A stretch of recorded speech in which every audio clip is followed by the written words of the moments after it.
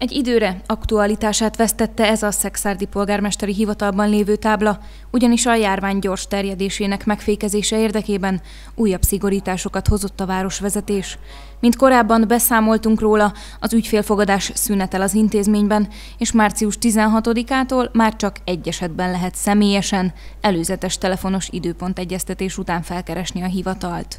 Korábban meghirdetett térítési díjaknak a befizetését szintén szüneteltetjük. Az ügyfelfogadás már az előző héten is szünetel, és a, ezen a héten is továbbra is szünetel. Csak személyesen az anyakönyvi ügyekben lehet a hivatalt felkeresni.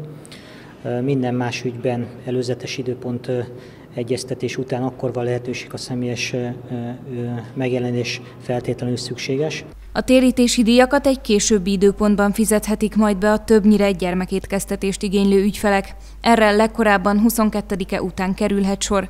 Amennyiben Magyarország kormánya nem rendel el, addig újabb szigorítást vagy hosszabbítja meg az intézkedések időtartamát. Addig is az ismert fórumokon kereshetik a hivatal dolgozóit. Központi számon, telefonszámon elérhetőek vagyunk, ezen kívül elektronikus e-mail címeink a honlapon elérhetőek, és azon keresztül tudunk, tudnak velünk kommunikálni. Ez azért van, mert a kollégáink zöme az otthonról dolgozik, és természetesen a hivatali telefonszámokat nem fogják tudni felvenni.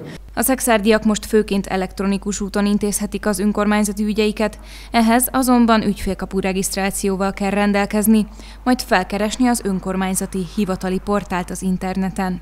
Egyéb információt pedig a 74-es körzet 504 100-as telefonszámon kérhetnek.